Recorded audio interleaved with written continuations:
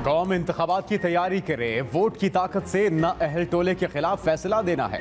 सबक वज़ीर अला पंजाब चौधरी परवेज इलाही कहते हैं, लाहौर हाईकोर्ट के फैसले के बाद इंतबी अमल में कोई ताखिर नहीं होनी चाहिए। पंजाब और खैबर पख्तनखा में इंतबी मैदान में इमरान खान की कामयाबी यकीनी है।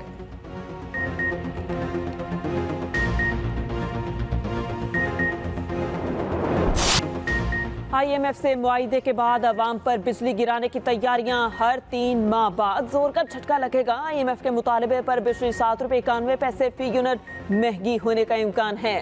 फरवरी तक मार्च बिजली तीन रुपए इक्कीस पैसे, जबकि मार्च तक मई मजीद उनहत्तर पैसे फ़ी यूनिट महँगी की जाएगी। जून तक अगस्त एक रुपये चौंसठ पैसे, जबकि सितंबर तक नवंबर फ़ी यूनिट कीमत में मजीद एक रुपये अट्ठानवे पैसे का इजाफा होगा।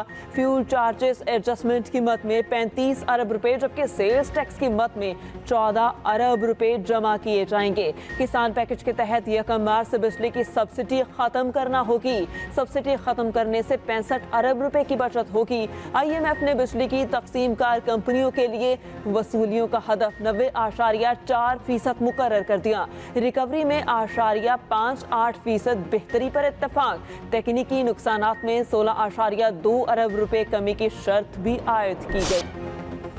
फ्लावर मिल्स और महकमे खुराक के दरमियान सर्द जंग में शिदत फ्लावर मिल्स की हड़ताल शुरू होने से पहले ही पंजाब में आटा नायाब। पंद्रह किलो वाले आटे के थैले की तैयारी और सप्लाई भी कम हो गई। सरकारी आटे की किल्लत से सूरत हाल संगीन होने का खदशा। दूसरी जानब, महकमे खुराक भी इन एक्शन। हड़ताल पर उकसाने वाली बारह फ्लावर मिल्स का सरकारी कोटा मुअत्तल। सेक्रेटरी खुराक के मुताबिक सूबे भर में 970 फ्लावर मिलों को सरकारी गंदम का कोटा जारी किया जा रहा है। उधर फ्लावर मिल्स एसोसिएशन का कहना है कि फ्लावर मिल्स इंडस्ट्री को तकसीम करने की कोशिश नाकाम होगी। तमाम फ्लावर मिल्स के मरकजी दरवाजों पर एहतजाजी बैनर्स आवेजा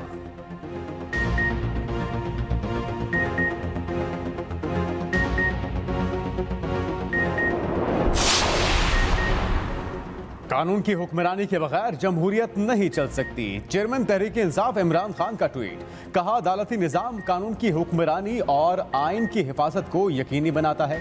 कौम इंतबात से मुतलक लाहौर हाईकोर्ट के फैसले को सराहती है।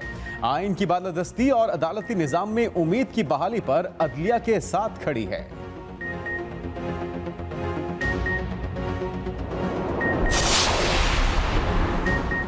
पीपल्स पार्टी ने पीटीएम की जिमनी इलेक्शन ना लड़ने की तजवीज नजरअंदाज कर दी। पीपल्स पार्टी ने लाहौर के कौमी हलकों में उम्मीदवार खड़े कर दिए।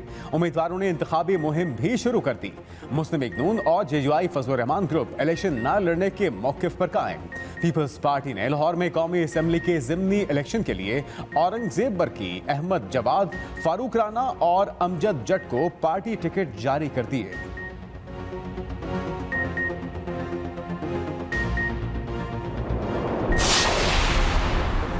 शेख रशीद की मरी मुकदमे में जमानत मंजूर। अदालत का शेख रशीद को एक लाख रुपए मालियत का जमानती मशलका जमा कराने का हुक्म।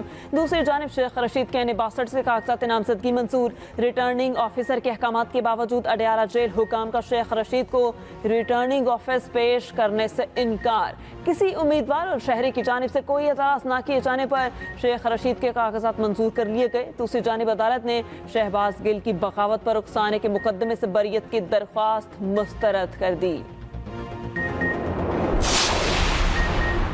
पीपल्स पार्टी एम के मुतालबात मानने को तैयार। जराये के मुताबिक governor Sindh Kamran Tessori peoples party का पैगाम लेकर एम के मरकज बहादुराबाद पहुँच गए।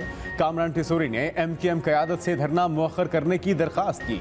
उधर खालिद मकबूल सिद्दीकी कहते हैं, पीपल्स पार्टी अमली इकदाम करे तो धरना मौखर कर सकते हैं।